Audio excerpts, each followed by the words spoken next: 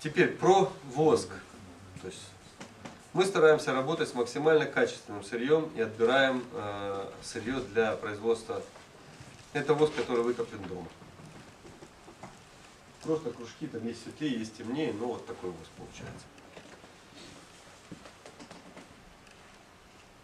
Для того, чтобы получить воск, нужно знать несколько вещей. То есть воск, в принципе, белый. В натуральном, в чистом виде он белого цвета. Желтым он становится из-за пыльцы, которую пчелы туда могут принести и так далее. Меда.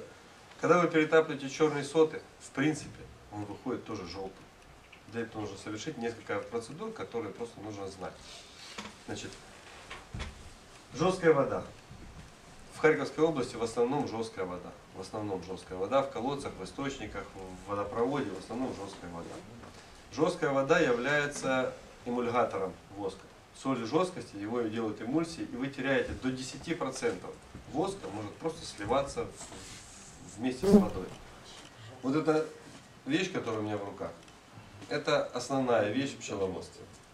То есть можно рассуждать там на любые темы, безвощинные технологии, еще какие-то технологии, но для промышленного пчеловодства, для получения хороших результатов от пчел, нужна вот эта вещь, которая называется вощина. Вот.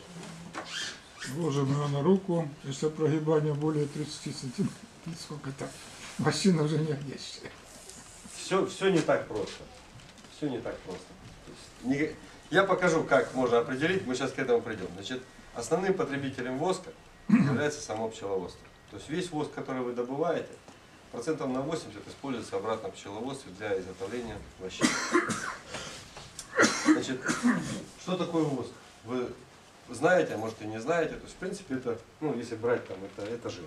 То есть, по факту, это основа как жир. Он не взаимодействует с кислотами, с щелочами. Вот, растворяется только бензином. Никаких антибиотиков вообще не быть не может. То есть она просто не физически, воск не связывается с антибиотиками.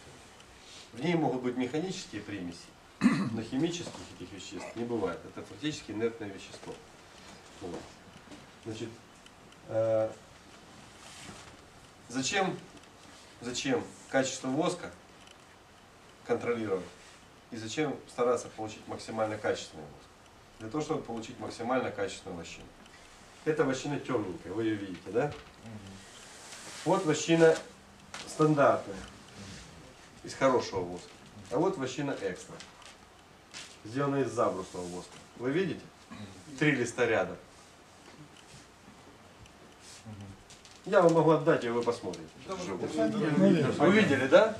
Это хороший воск, самый лучший воск, который можно как бы получить на пасеке, чистый, красивый, ну, то есть желтый, светлый. И вот рядом забрусная вощина, из забруса. То есть это чистый забрус, перетопленный на вощину. Она отличается по прочности, по жесткости, по толщине. Вы звук слышите? Она же в тепле. И вот из обычного воска. Ну, взяли рядовой воск, перекатали, то есть меняем темный на темный. Потому что когда пчеловоды приносят темный, чтобы не было вопросов, дайте мне желтый. Она тоже хорошего качества, в принципе. То есть она будет тянуться. Но есть разница. Вы ее увидели вживую.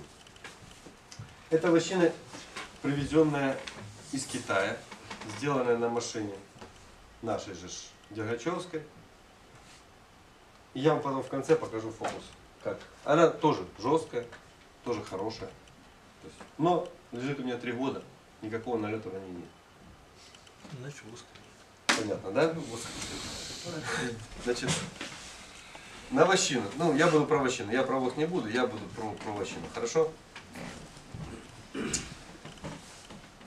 И, и про получение тогда воска. Значит, э, начнем с вощины.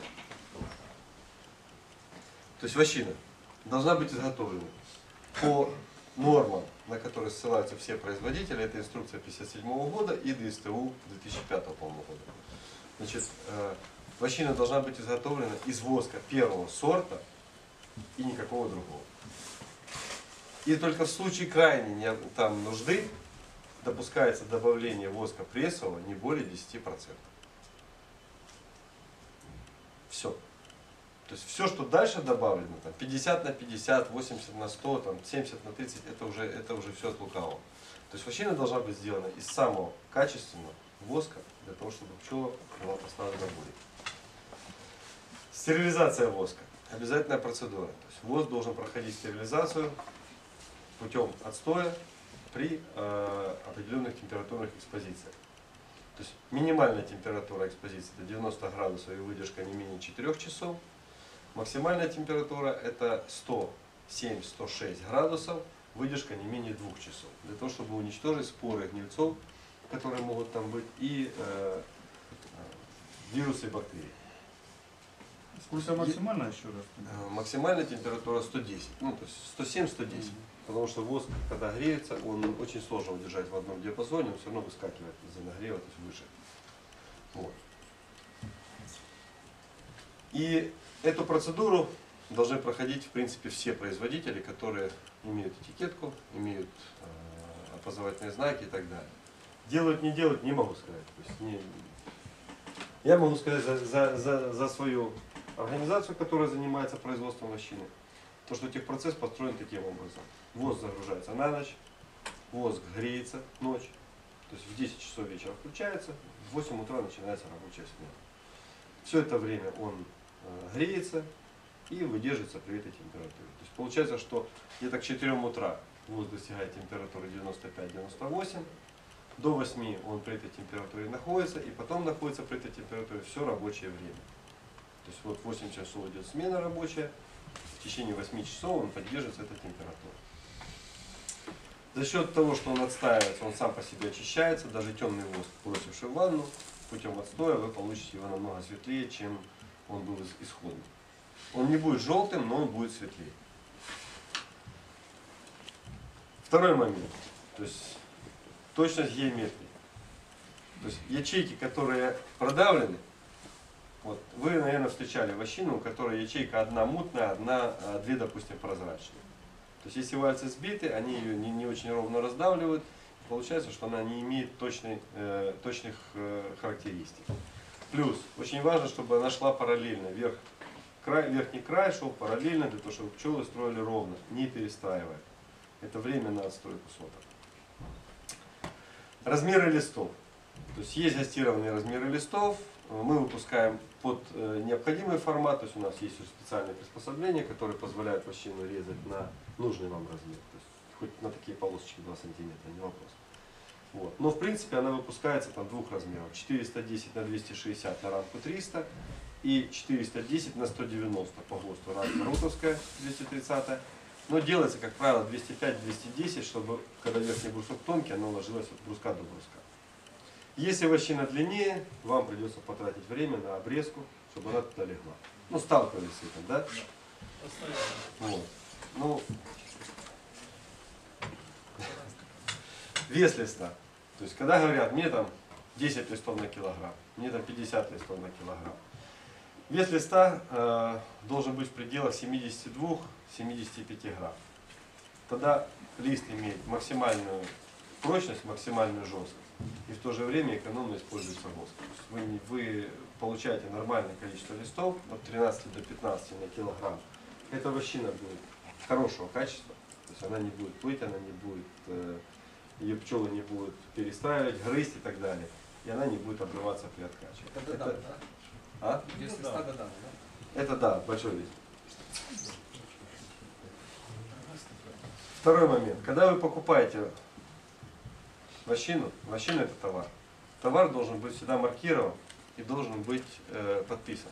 Кто его произвел, что в составе, вот, партия, когда произведена. Потому что на вощину производитель обязан выдать гарантию. Гарантия это один год. Что в течение года с ним ничего не произойдет. Единственное серый налет. То есть там вы нашли, да? Серый налет не является ухудшением. Но серый налет появляется только на воске и на шоколаде, больше ни на чем. Вот. И этот серый налет совершенно не ухудшает качество вощины. То есть он убирается, вы знаете, можно вот рукой себе поводить, то есть в принципе оно так, как, как На солнышке или на солнышке подержали, да, она становится прозрачной. Хранится вощина. Вы знаете как? То есть нежелательно ее хранить при морозе. Если она лежит в неотапливаемом помещении, ее лучше не трогать, потому что она просто трескается, становится как стекло хрупкое. На каждом листе, на каждом листе фабричной вощины есть э, номер.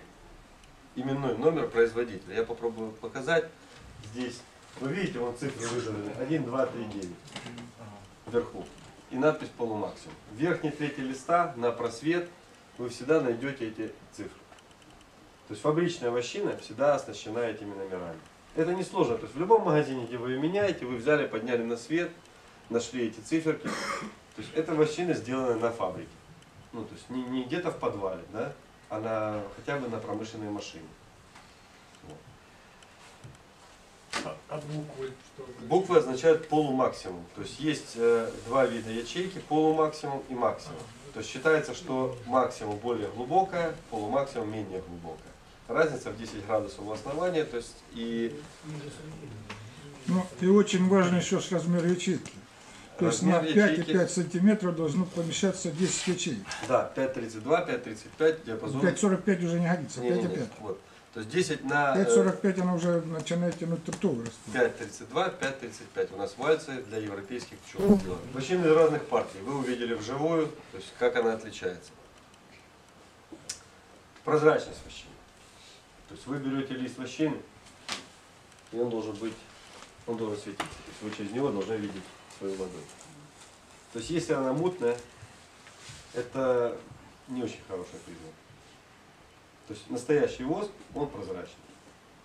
То есть чем лучше качество воска, тем прозрачнее вощина. То есть либо ее не стерилизовали, ну то есть не выдержали, потому что в процессе отстоя оседают все взвешенные частицы, и этой мутноты просто нет, понимаете? То есть воск просто могут накидать, он тает и его по ходу катают. Вот один из признаков отличить, была она в автоклаве или нет, это вот ее прозрачность.